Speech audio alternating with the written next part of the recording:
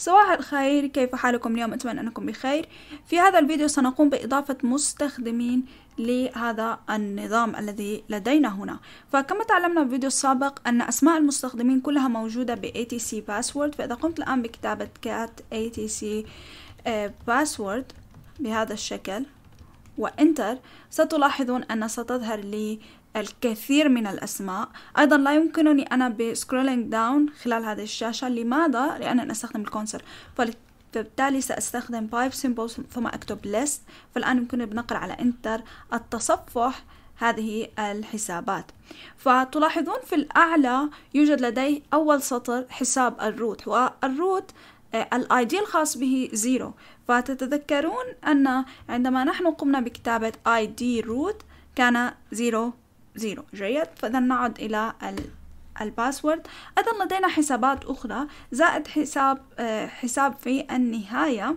هنا الحساب هو حساب نورس. قد تتساءل لماذا لدينا كل هذه الحسابات؟ أنا لم أقم بإضافة هذه الحسابات.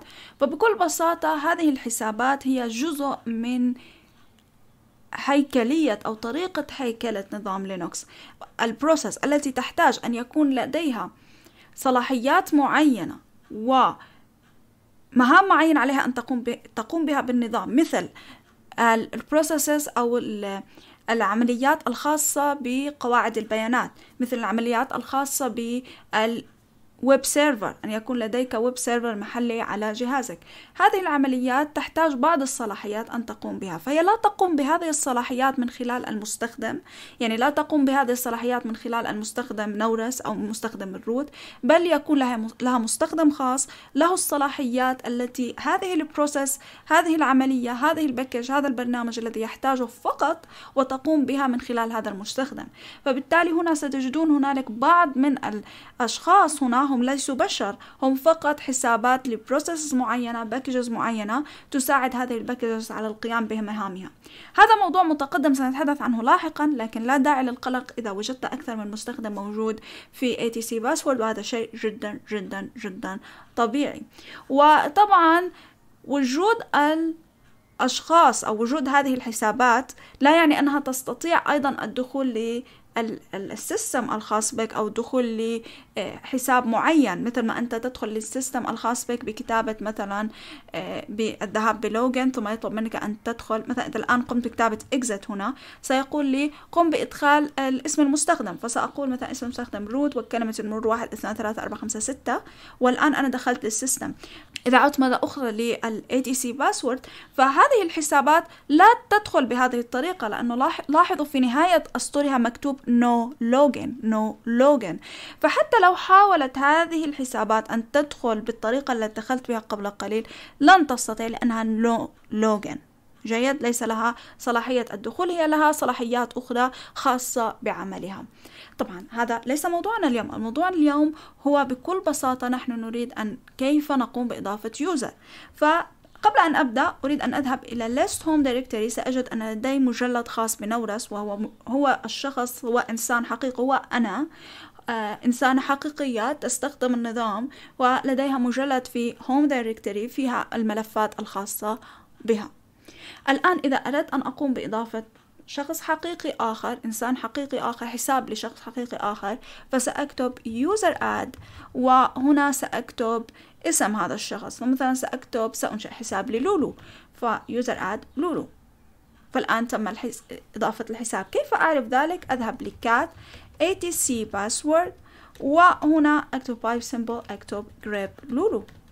فسيظهر لي حساب لولو. لاحظوا لولو ثم X يعني ال password الخاصة بها مشفرة موجودة ب etc shadow تحدثنا في الفيديو السابق.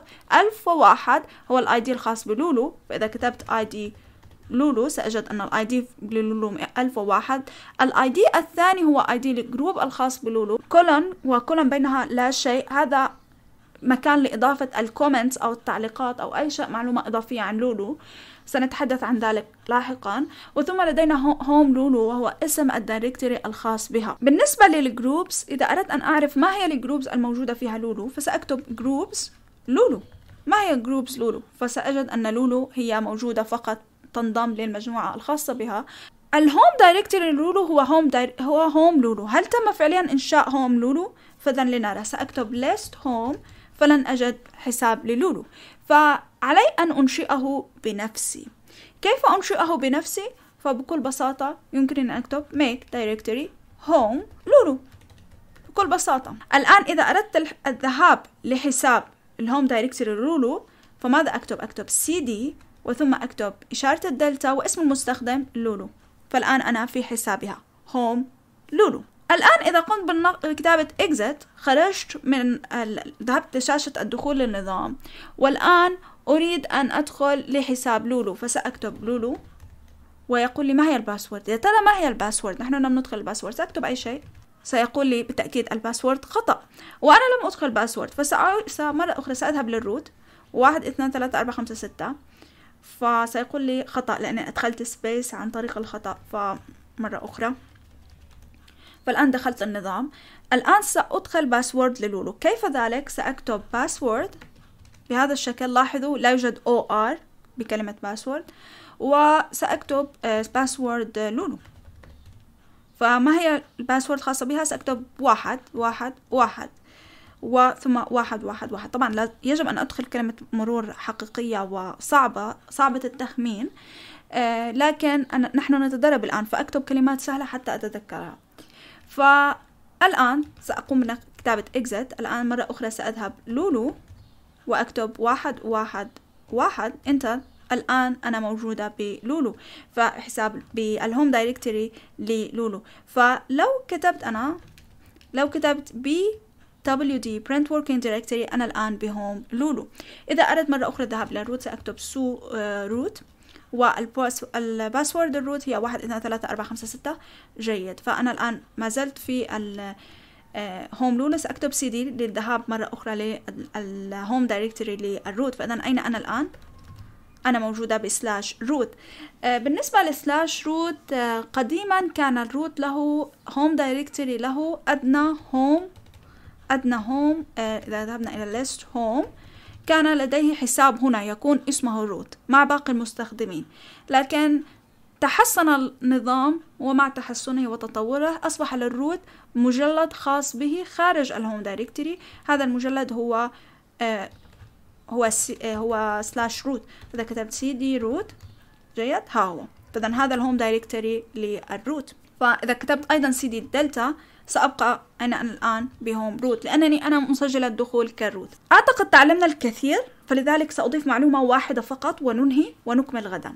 فأريد حذف لولو. أريد الانتهاء من لولو وأريد حذفها. كيف أحذفها؟ فبكل بساطة أكتب userdel وثم اسم المستخدم لولو. جيد؟ فسيقول user آه، لولو is currently used by process آه، آه، معينة. فبالتالي لا يمكن أن نحذفها. ربما ربما حصلت هذه المشكلة لأني دخلت لل root من حساب لولو. سأقوم بكتابة exit ونجرب مرة أخرى و exit هنا وسأدخل سأدخل أنا الآن من ال root. فالآن أريد حذف لولو userdel لولو. سيتم حذفها بنجاح الآن. جيد. فالآن إذا قمت بكتابة cat etc password وثم هنا grep لولو لن يظهر أي شيء لأن حذفتها. لكن هذا الشيء لن يحذف ملفات لولو. يعني إذا قمت بكتابة list home فسيبقى آه، ملفات لولو ومجلدها موجود. فإذا أردت أن أحذفه يمكن أن أكتب هنا remove dash r لولو كما تعلمنا. فإذا cannot move لأن يجب أن أكتب هنا home لولو. فإذا الآن مرة أخرى less home فإذا لا يوجد به لولو.